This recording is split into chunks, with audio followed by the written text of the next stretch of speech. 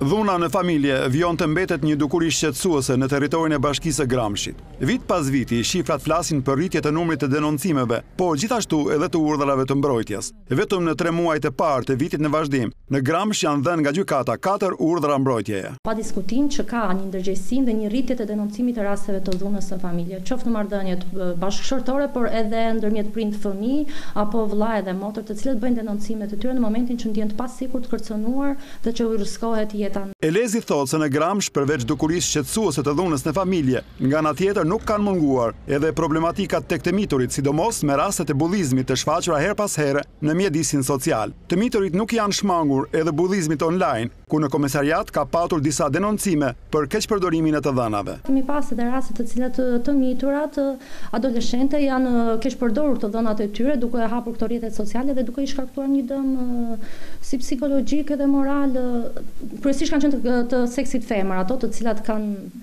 bërë denoncimet për këto keqpërdorime të dhënash. Shoqëria duhet të bëjë më tej hapa seriozë, jo vetëm në identifikimin e këtyre rasteve, por së pari, në krijimin e një mjedisi social të shëndetshëm, ku rastet e shënuara të mbeten në minorancë ose të shkojnë drejt zhdukjes.